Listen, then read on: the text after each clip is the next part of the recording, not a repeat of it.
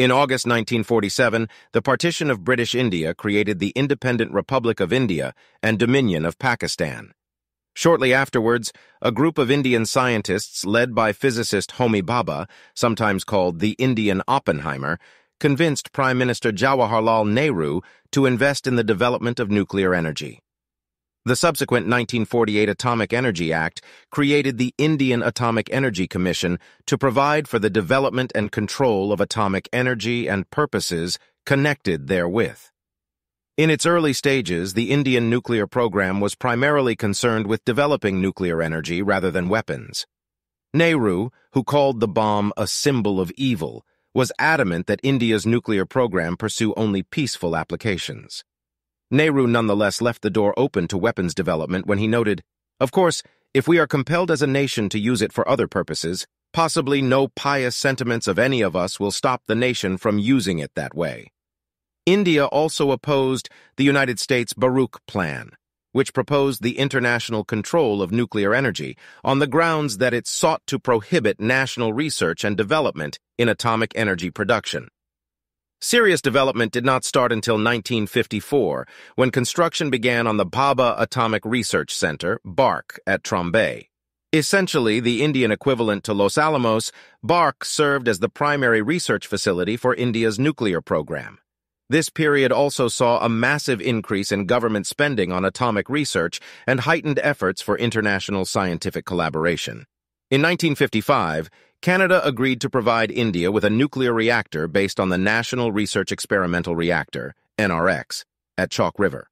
The United States also agreed to provide heavy water for the reactor under the auspices of the Atoms for Peace program. The Canada-India Reactor Utility Services, more commonly known by its acronym CIRUS, went critical in July 1960. Although billed as peaceful, CIRUS produced most of the weapons-grade plutonium used in India's first nuclear test. The year 1966 saw significant changes in the Indian nuclear program. In January, Prime Minister Shastri died of a heart attack, and Indira Gandhi, the daughter of former Prime Minister Jawaharlal Nehru and a strong proponent of nuclear weapons, took his place. Less than two weeks later, Homi Bhabha died in a plane crash. Physicist Raja Ramanna, who worked under Bhabha beginning in 1964, was named the new head of BARC and was the principal designer of India's first nuclear device. The decision to finally test a bomb was largely motivated by India's desire to be independent from Western interference. In 1968, for example, India caused an international controversy when it refused to sign the Nuclear Non-Proliferation Treaty, NPT. The NPT established the United States, the Soviet Union, and the United Kingdom as recognized nuclear weapon states, while its non-nuclear signatories pledged not to develop nuclear weapons programs. India accused the nuclear powers of atomic collusion and took particular issue with the fact that NPT did not differentiate between military and peaceful nuclear explosions. In August 1971, India took another step away from the West when it signed the Treaty of Peace, Friendship, and Cooperation with the Soviet Union. In December 1971, war broke out between India and Pakistan over the separatist movement in East Pakistan, modern Bangladesh. China and the United States sided with Pakistan, and President Richard Nixon even ordered the U.S. Navy's Seventh Fleet into the Bay of Bengal.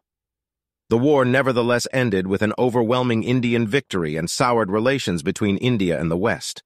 The Thar Desert in Rajasthan, the location of the Pokhran nuclear test range, courtesy of Wikimedia Commons, Sankara Subramanian, in September 1972, Prime Minister Gandhi officially approved a nuclear test after touring the Bhabha Atomic Research Center. There was never a discussion among us over whether we shouldn't make the bomb, affirmed Raja Ramanna. How to do it was more important. For us, it was a matter of prestige that would justify our ancient past. The question of deterrence came much later. As Indian scientists, we were keen to show our Western counterparts, who thought little of us those days, that we too could do it.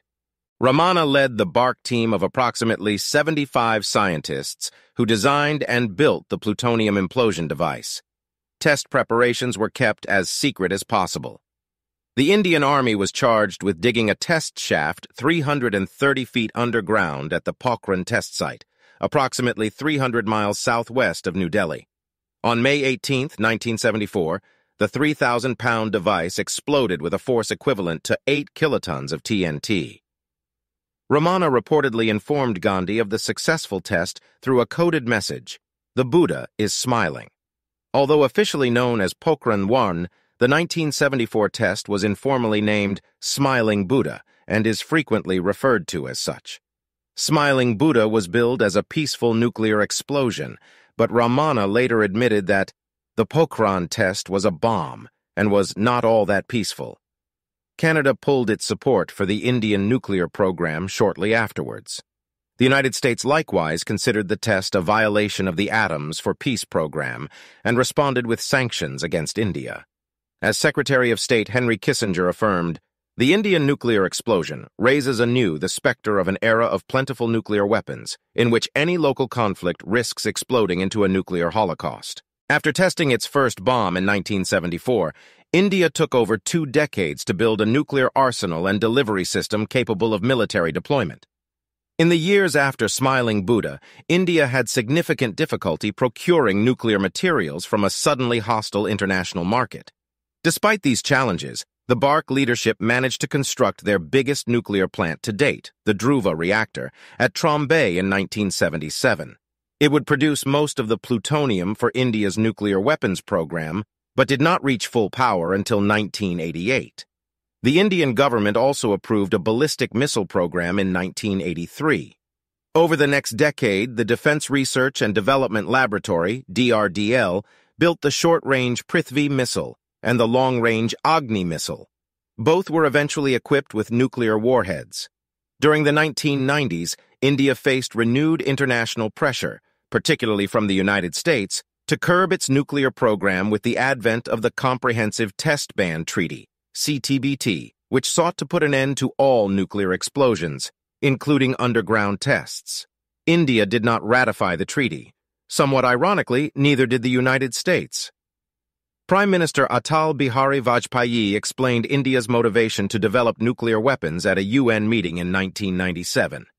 I told President Clinton that when my third eye, an old Indian proverb, looks at the door of the Security Council chamber, it sees a little sign that says only those with economic power or nuclear weapons allowed.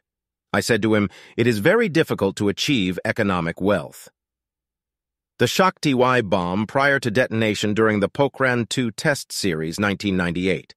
Physicist Rajagopala Chidambaram, the head of BARC, was soon authorized to proceed with additional nuclear tests. Preparations were carefully concealed and engineers worked at night to avoid detection by American satellites. Operation Shakti, also known as Pokhran II, took place on May 11, 1998. India tested five nuclear devices, although not all of them detonated. Indian officials claimed that the bombs had a yield equivalent to 45 kilotons of TNT, but independent estimates put the number closer to 16 kilotons. India is now a nuclear weapons state, declared Prime Minister Vajpayee days after the tests. We have the capacity for a big bomb now. Ours will never be weapons of aggression. India faced almost universal condemnation in the aftermath of the Pokhran 2 tests. The United States said it was deeply disappointed in India's decision. The United Kingdom expressed its displeasure, and Germany called the tests a slap in the face of the countries who had signed the CTBT. As Pakistani Foreign Minister Gohar Ayub Khan asserted, India has thumbed its nose to the Western world and the entire international community. Less than three weeks later, Pakistan conducted its first nuclear tests.